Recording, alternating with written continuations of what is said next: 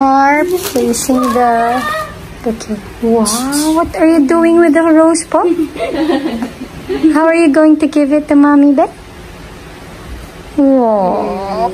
Oh, sus, may pagdala. Oo nga eh. Sige, tapusin Parang ikaw. Pink, wonderful rose from love. Wonderful love, love. Kasing pink ng, ng lip. Huy! Nang? Oh my God! Hmm, kasing bango na. Sunflower. Ang ganda.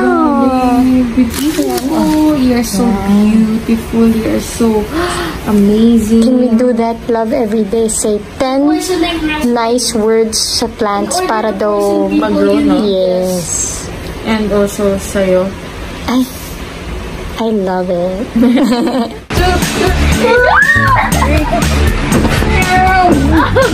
One, two, swim. Whoever goes first. Oh, go. Yes, I Let's go back, go back. Tama na yan! Stop na! Oh.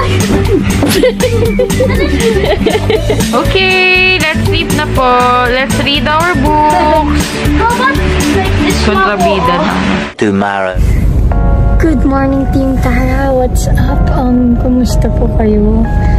Um, grabe, may mga nakikita lang kasi ako dito sa place namin mga nag-grocery na hindi ko alam paano nila dadalhin yung mga items nila kasi di ba nga walang public transportation ngayon. Iba na talagang pumapasok sa work, naglalakad every day, walang means of transportation.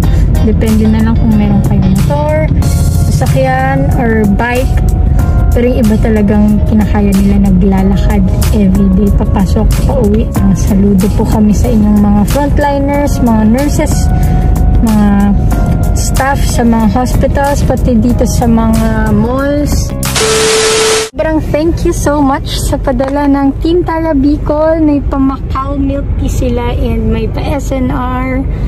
Pang lunch namin yan. Thank you so much Team Tara Bicol. And may pa flowers from Miss Maricel Hakla. Thank you Miss Cel.